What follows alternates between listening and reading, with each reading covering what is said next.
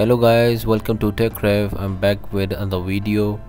So today I'll be telling you how you can use your iPhone and you can configure the Zepp app uh, which was formerly the MiFit app so that you get better battery life. So well you need to check for software update first uh, and uh, you know your band should be at latest software. So as you can see my band is at 3% so you know my battery went all the all the way down to 3% so this shows that my band is working perfectly and it is the battery is performing totally fine. So the next setting that you need to consider are the vibration and you need to select these settings as I've selected because vibration do eat up a lot of battery. So you need need to turn off these and uh, well moving on to the health monitoring.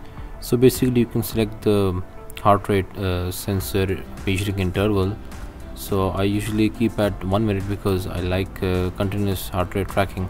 But you can keep it uh, at your own liking. But still my band gives better batteries so I am fine with it. So basically you need to turn off all the sleep assistance you know that drains a lot of battery. So stay away from that.